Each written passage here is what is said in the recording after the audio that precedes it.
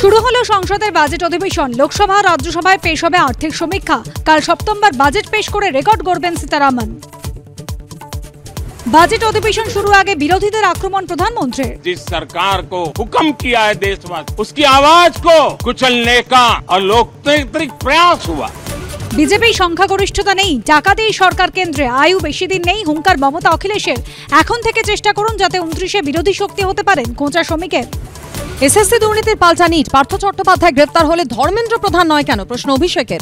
গুলিয়ে দেওয়ার চেষ্টা করছেন জবাব সুকান্তর। দশ লক্ষ চাকরি রেডি আটকাতে মামলা, বাম বিজেপি কংগ্রেসের আক্রমণে মমতা। কারোর চাকরি যাবে না বলে আশ্বাস। দুর্নীতি করলে কোর্টে তো যেতেই হবে, পাল্টা বিরোধীরা। বিরোধী নয়, একুশের সমাবেশে মূলত দলকেই শাসন মমতা অভিষেকের। মানুষকে পরিষেবা না দিলেই ব্যবস্থা হুঁশিয়ারি শীর্ষ নেতৃত্বের। ঘণ্টাখানেক সঙ্গে সুমন, রাত আটটা।